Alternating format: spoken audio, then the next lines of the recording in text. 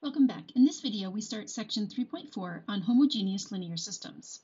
The goal of this section is to understand linear systems whose constant vector is the zero vector. Definition 3.4.1.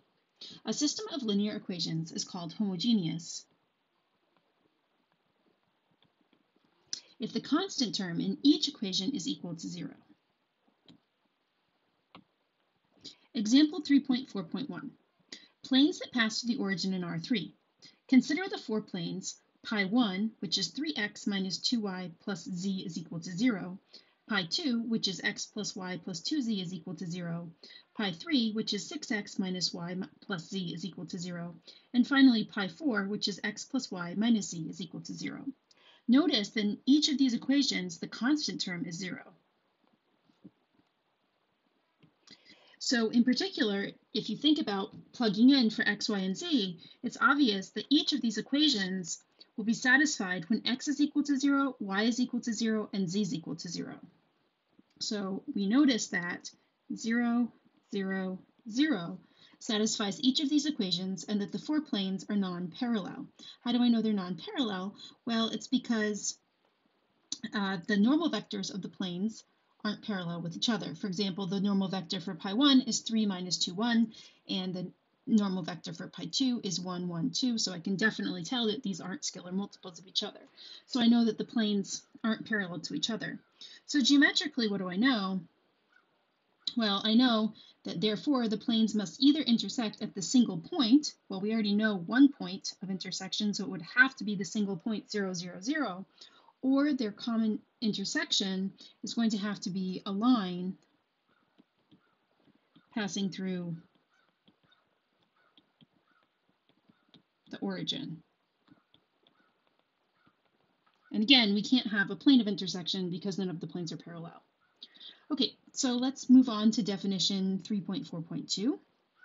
Consider the homogeneous linear system in n variables. So here I have this linear system but wait a minute, I missed something to the right-hand side of each equation here. I haven't put in the constants, but the fact that the linear system is homogeneous tells me that those constants all have to be zero. So let's fill those in first. So I have that the first equation has to be equal to zero, the second equation has to be equal to zero, all the way down to the mth equation, which also has to be equal to zero.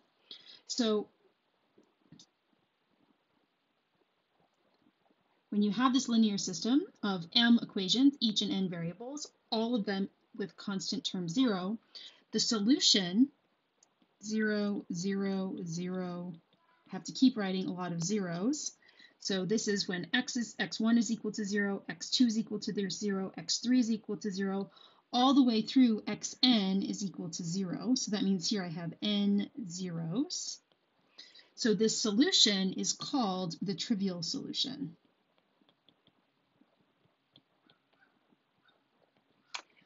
And that's because it sort of obviously satisfies each of those M equations. So let's look now at takeaway number two, which is that the trivial solution is a solution to every, to every homogeneous linear system. Therefore, every homogeneous linear system is consistent, which means it has at least one solution. And so it could either have only the trivial solution, exactly the zero solution, or it must have infinitely many solutions. If we want to say more, say about the geometry or how many parameters we would need to describe the solution set, we'll have to think a bit harder. But in general, every homogeneous linear system has either only the trivial solution or infinitely many solutions. We can be a, even a bit more precise. In theorem 3.4.1, we'd say the following. If a homogeneous linear system has n unknowns, and the reduced row echelon form of its coefficient matrix has r leading entries, we'd say it's rank r, then the system must have n minus r free variables. So remember that any variable that doesn't have a leading entry in its column becomes a free variable. So if you have n variables and you only have r leading entries, this leaves us with n minus r free variables. Let's see how we can apply theorem 3.4.1 to an actual homogeneous system.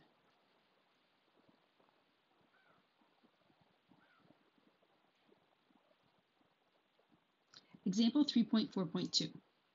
The system x1 plus x2 plus x3 minus x4 equal to 0 and x1 plus x2 plus x3 plus x4 equal to 0 has coefficient matrix. So here I'm just going to write down the coefficient matrix, which is 1, 1, 1, minus 1, and 1, 1, 1, 1.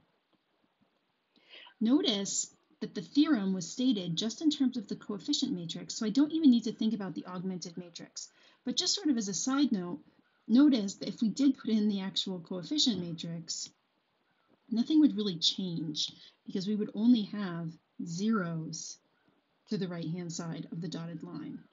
So we'll go back to the coefficient matrix as we had before. And what we need to do is that in order to use the theorem, we need to make sure that the coefficient matrix is in reduced row echelon form, and actually row echelon form would be sufficient. We'll take it to reduced row echelon form here.